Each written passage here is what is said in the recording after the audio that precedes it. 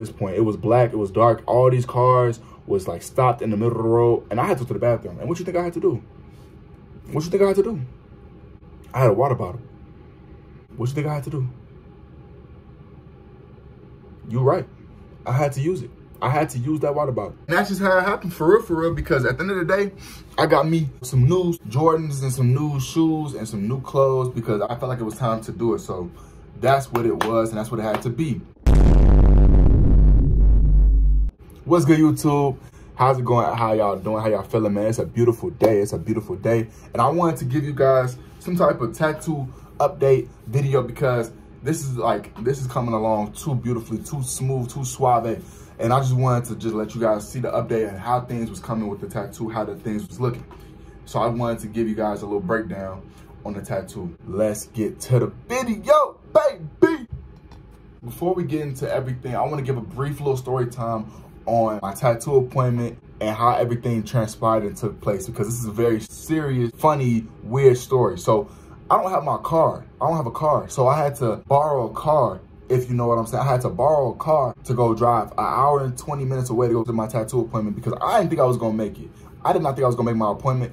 I thought I was gonna have to miss it because the way things was looking, I had to go to work in the army. You have to balance, do mandatory things that you have to do, but still find a way to make it, find a way to do what you have to do at work and then get off. So I had to battle the, the thought of how am I gonna be able to get to my tattoo appointment on Friday and then also do the things I have to do at work, get it done. So I had to talk to my platoon sergeant, and find a way, made it happen, boom, cool. I somehow made it happen, cool. I don't have a ride. Like I said, I don't have a vehicle. So I'm calling everybody I know who can give me possibly a ride.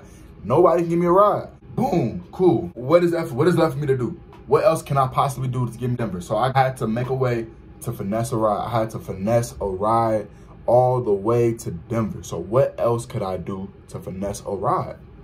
What else could I do? You tell me what I had to do. What I had to do was I had to go to CarMax, rent a car for 24 hours. 24 hours, rent a car, rent a vehicle for 24 hours just to make it to my tattoo appointment. That's called dedication, ladies and gentlemen. That is dedication. Dedication to the cause. You might be asking me why I have an artist that's an hour and 20 minutes away from you. Now, I have something to tell you for that because when I was deployed, I was deployed. And I have videos on that while I was deployed. That's when I started taking YouTube stuff serious again because I felt like I had to get my mind off of what was currently going on at, at, when I was deployed. So when I was deployed and I was coming back, I realized I wanted a, a, a, tattoo. It was time for me to get a tattoo. Time for me to actually get serious with, with, with the things that I like. I wanted to start doing the things that I like, care for tattoos and, and actually make things come to life and look beautiful as you're about to see pretty soon. That's why. And I originally was looking for things in my local area, but I could never find no tattoo artists that were in my area that was close that could actually do it. So I found some in Denver because there's a lot of artists in Denver. Denver's a big city. It's a, it's a mega hub for a lot of things. So boom, that's how it happened. Long story short, he ended up being my artist. Now, I finessed the ride from CarMax for 24 hours. Get there, no problem. We do a seven hour session, so he got a lot of things done. So it looks completely different from the original model, the shading and all that stuff. And he added some new things that you about to see really soon. Everything's going smooth. I had some, I had a friend come visit me and it made things go a little smoother. Now, the issue is that we're having is coming back home. So the tattoo ends at seven o'clock.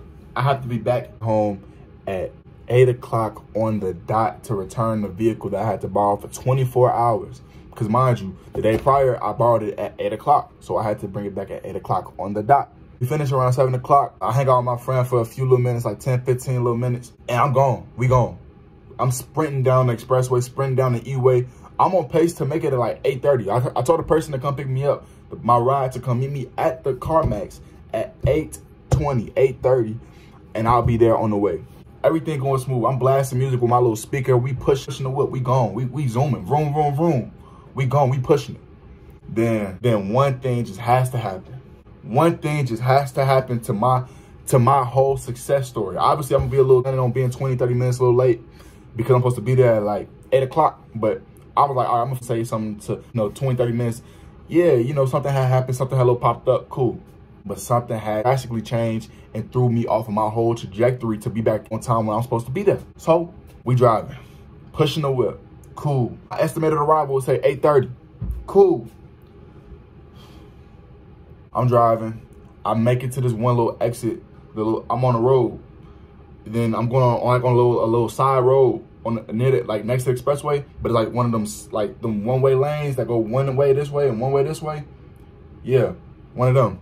So I, I reached the end of it, and then the expressway is like you supposed to get off. So once you cross that, it's like a stop sign, and then you go to like, like the little bridge off point. and then once you cross that bridge off point, you go into the, the expressway. Boom. I'm finna hit that right there, the little cut. And then it's two cones, and then the road says road closed. In my head, I'm thinking like, forget this, who around me right now? Because I'm about to just, cause it's two cones. I, and it was like a little space right here that I could have just cut through and boom, just kept pushing it. I would have made it on time. I promise you I would have made it. I would have made it at like 825.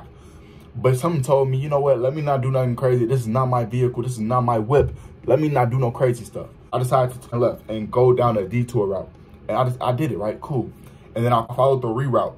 And then the reroute, I went about five miles the opposite way, came the other way, and went back to where I came from. I was like, uh, -uh can't do this. And when I came back, the police was there. Then I knew I couldn't, I couldn't do it now. I couldn't, I couldn't cut through the cones like I wanted to because now he was blocking it off. I was like. I was like, dang, man. I should have just took it when I had the chance. Then I'll, I'll, get out the car, I put my little, my little, what's the little thing, the hazard lights. Boom, press that, somebody behind me. To the police officer, I'm like, excuse me, sir. First of all, I don't even want to talk to him because it's like, bro, like, this is embarrassing. All these cars just right here next to me and they see me walking up to the police car and it's just like weird. Like, I don't want to do all that. But I did it because I had to because I, I ain't had no other choice because how I'm supposed to get home. So then the police officer tells me to go down, go back where I came from, literally right back where I came from, and then make a left make another left, right? Simple as that, two lefts. I say, all right, sir, cool, have a good day. In the car, do a little 360, 360, cool. Going back down the exact same route I came from, five additional miles, five more miles that I have to add on to the vehicle. Then after that, I go back, I make a left, and I make another left. I'm thinking I'm doing good, right? I'm think I'm think I'm in the clear now. I think I'm Gucci. I think I'm I'm I'm fly. I'm good. We good. We gone. About 15 minutes go by, I'm back at the same place. And when I tell you that I was irritated, I was so mad, bro. Because at that point, it, all all hope was lost. All hope was lost. At that point, everything was everything that I had desired. I was already agitated, irritated, all that stuff, all in one because that's my second time. Second time. And the first time, I thought cool. The second time, the police officer he told me what to do. I did what he told me to do. And then he, and I came back to where I, I just came from. He looked at me like I'm stupid. And I'm like, I did exactly what you told me to do, but came right back here. But the difference was the third time I came back around, it was two, three other guys that was there this time. So they, I, they explained to me, what was the problem? What's the issue? Like you should, you should have been gone. You should have been on the expressway flying. I'm like, yeah, I'm supposed to. Did exactly what the officer told me. Went down that way, made two lefts, came back this way. And they was like, two lefts? Uh, yeah, it's two lefts. And I was like, well, I'm back here. I don't know why I'm here. What you want me to do? And he was like, oh, snap, it's three lefts. It's three lefts supposed to make. I'm what? He said everybody else, oh, that it's two lefts and this and that, and I'm wrong. And I'm telling him, the, the police officer, like, yo, the workers that work at CarMax, he on my butt right now, type, you know what I'm saying? Because he want, he want his vehicle back. I need to be make, make some type of movement. And then the, the guy that was next to the police officer, he telling me, like, okay, yeah, yeah, you're right. It's three lefts. So it's two lefts, and then it's another left that you gotta make on that ramp. It's a ramp right there. Then you'll be good.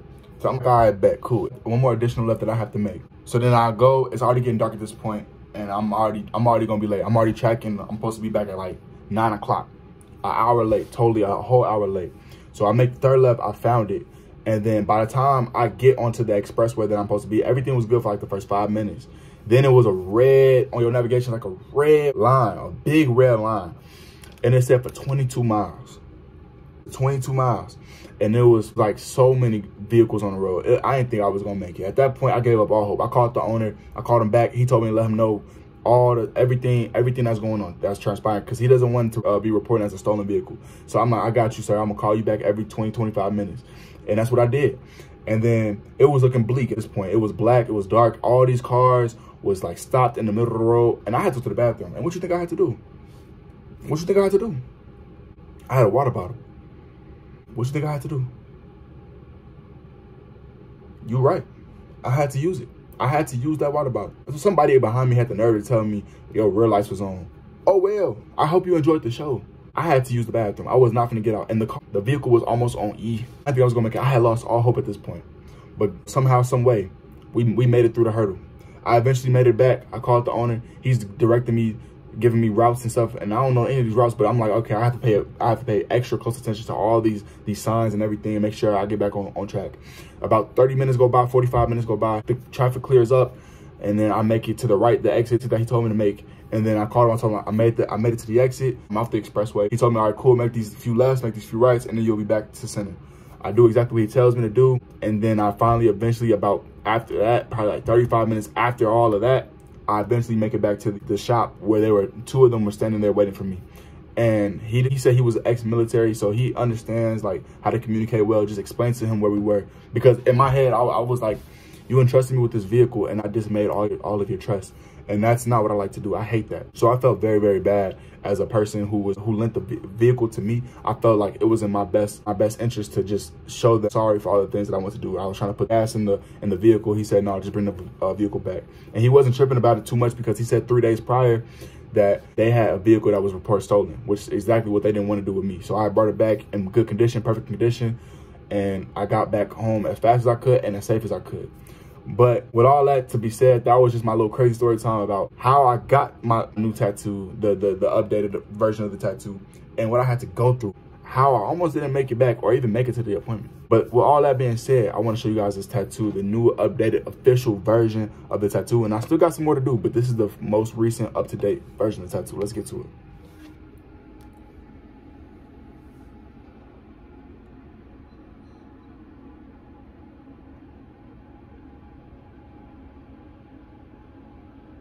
As you can see, there's some slight differences. There's a shadow right there of another building. There's the, if you could tell, there's uh, branches and it looks like cracks and everything, but it's it's the branches in the in the building. There goes the train tracks with the kid right there. Let me see if I can get you guys a better view. Train tracks with the the kid right there and these like little rocks. All of that. And right here, he's gonna finish it up. Some trees. He's gonna probably add another shade of a building. But as of right now, this is what it looks like. And it's coming out so, so fire. This is so, so fire. This is the tattoo, and I could not be more happy it came out the way I wanted it to come out. Even better than the way I wanted it to come out. This is amazing. This is a blessing to me, and I'm grateful. And uh, I just want to say thank you to all of you guys who decided to watch my channel. Make sure you like, share, subscribe. If you haven't already, if you're new, make sure you subscribe and tell me how you feeling. All of y'all.